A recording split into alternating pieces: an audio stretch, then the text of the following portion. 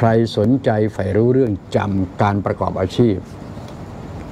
ท่านเหล่านั้นเจริญทุกรายนะประกอบอาชีพ แล้วก็ถูกต้องตรงตามกฎกติกาของสังคมด้วยนะในหนึ่งก็บอกว่า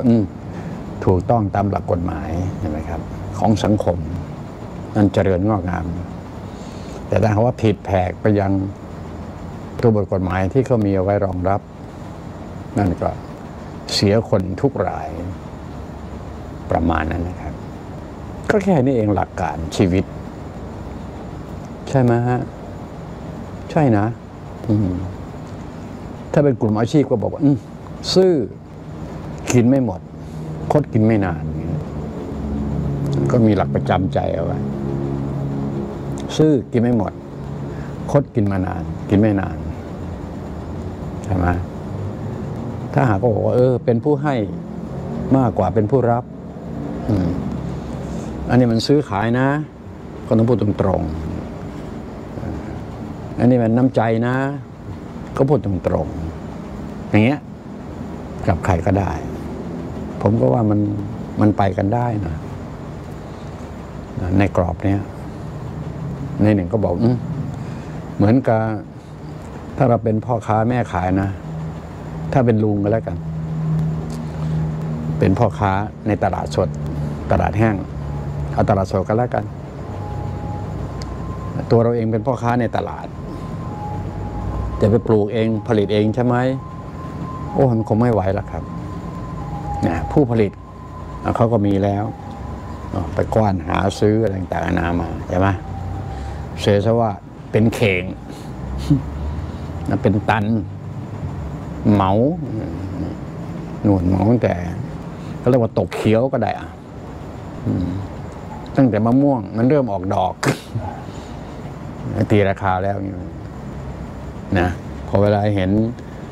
มันอะไร มันเป็นผลใช่ไหมก็เรียกว่าหัวแมลงวันนั่นแหละครับ เริ่มตาก็เริ่มมองแล้วคนที่ตาถึงนะหัวแมลงวันขนาดนี้หมอทั้งต้นเลย วัดดวงกันละลมฟ้าอากาศมาร่วงหมดไม่เป็นปัญหาเขาเรียกวัดดวง บุญใครบุญใครนะเหมาทั้งต้นความพอใจที่นี่ผู้ปลูกเขาก็ขี้เกียจเก็บ ไม่มีเรี่ยวแรง ไม่มีกำลังจะต้องจ้างนู่นนี่นั่น เหมาทีเดียวชั่วนะมะม่วง มะเฟือง มะไฟลำไย มะกรูด มะนาว มะพร้าว ส้มโอ ฟักแฟงแตงโม ใช้หลักการคิดเหมือนกัน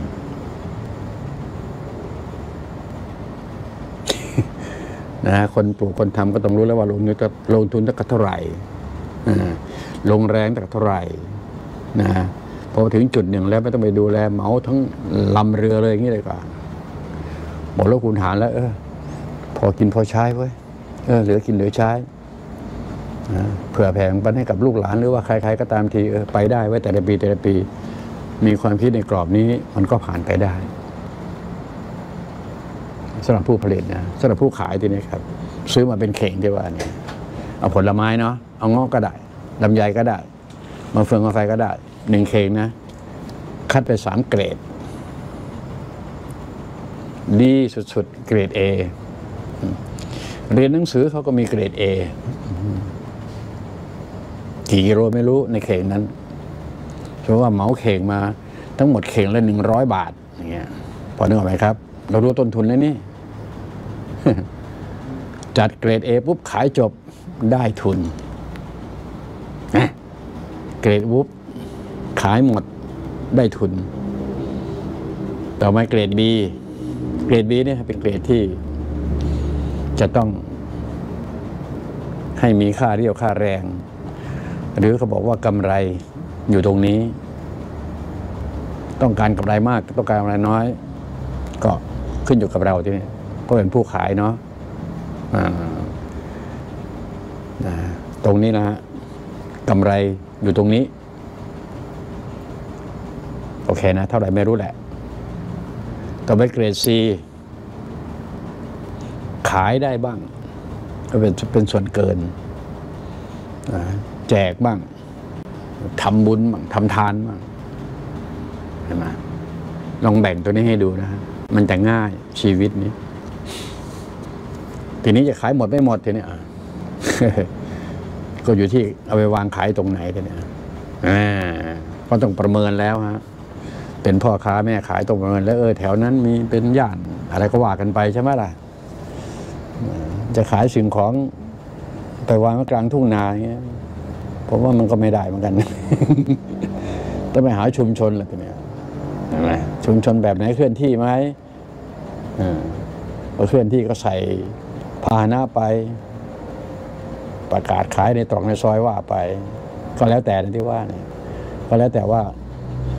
สถานที่ตรงนั้นมันเหมาะกับอย่างไรเนี่ยฮะถ้ามีความคิดอย่างนี้มันก็ไปต่อได้ที่ว่านะ ผมว่านะอะไรมันก็น่าจะได้นะ อย่างเงี้ย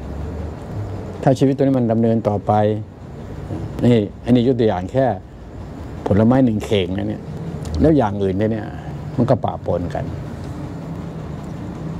นั่นคืออาชีพแหละครับ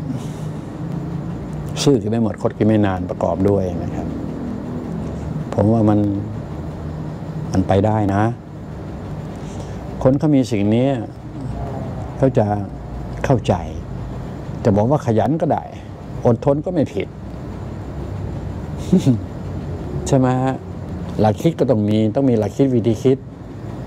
มันจึงจะ ชีวิตนี้จะเริ่มต้นได้และไปต่อได้ ถ้าไม่มีสิ่งนี้ปุ๊บก็เป๋เหมือนกันเลยครับ จบเนาะผมว่ามันมันอยู่แค่นี้นะ เรื่องการทำมาหากินเอาละต่อมาคือเรื่องการเรียนรู้ที่นี้ครับ จะรู้อะไรอ